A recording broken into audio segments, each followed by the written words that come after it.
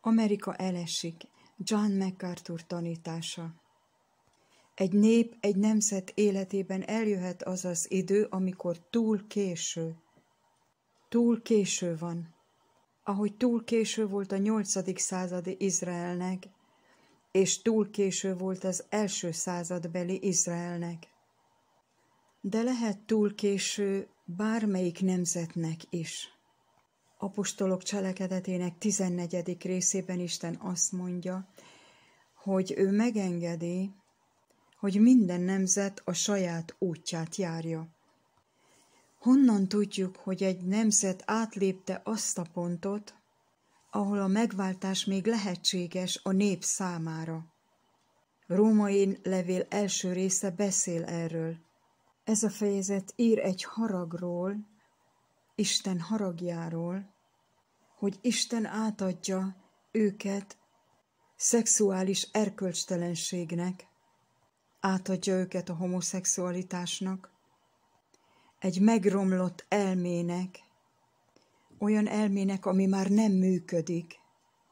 Tehát amikor egy nemzetet mély szexuális bűnben látsz, ahol áthatóan megerősítik a homoszexualitást, és látod a megromlott elme őrültségét, ahol a törvényeket hoznak az igazságosság kriminalizálására, vagyis bűnné nyilvánítják az igazságot, és a durva gonoszságot legalizálják, akkor tudhatod, hogy a nemzet ítélet alatt áll. Az üzenet ennek a nemzetnek, a mi üzenetünk ennek a nemzetnek, az, ha azt mondod az Úrnak, Uram, küldj engem, akkor ez az üzenet. Túl késő a nemzetnek. Ítélet alatt állunk, de nem túl késő a választottaknak, mert Róma 11 azt mondja, némelyek kiválasztottak, akik még tudnak hinni, akik még fognak hinni, amikor hirdetjük nekik az evangéliumot. Mi a mi üzenetünk ennek a nemzetnek? Ítélet alatt álltok, túl késő, az ítélet elkezdődött, ti hallotok, de nem értitek, láttok, de nem veszitek észre, vonzhatja a szíved, de Isten megkeményítette, azonban Istennek megvan az ő népe. Neki van népe. Ezért figyelmeztetünk, mert nem tudjuk, kik ezek az emberek. És felajánljuk az evangélium kegyelmét is. Ez a mi elhívásunk. Túl késő egy nemzet számára, de nem túl késő a választottak számára Atyán, köszönjük neked a te égédet, amely nem homályos, amelyet nem nehéz megérteni, amely kristálytiszta. Az üdvösség kegyelem által van, és a mostani napokban a te kegyelmes választásod szerint összegyűjtetik a maradék.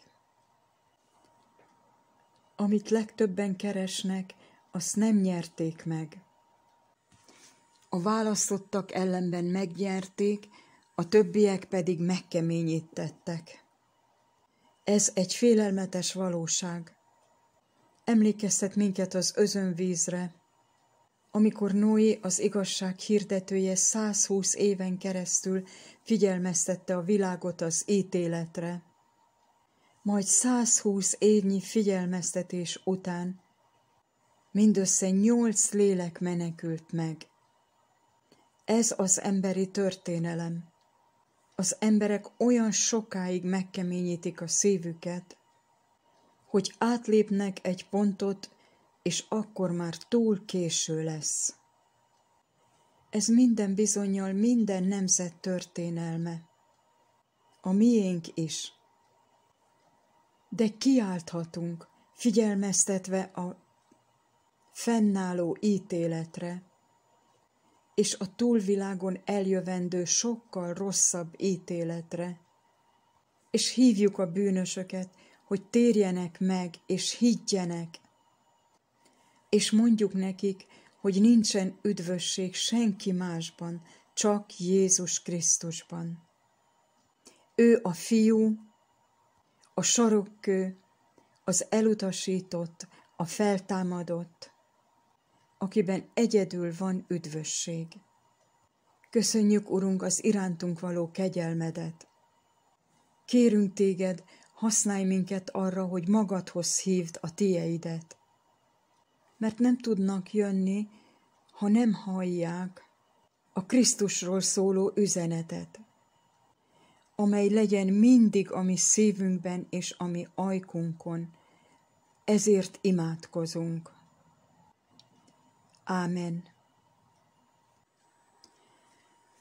Testvéreim, akik látjuk, hogy ez a világ hogy válik minden nap egyre gonoszabbá, és óriási sebességgel rohan a szakadék felé, ne nézzük ezt tétlenül, ahogy hallottuk is, adjuk oda magunkat arra, és szánjuk oda magunkat arra, hogy minél több embert megmentsünk.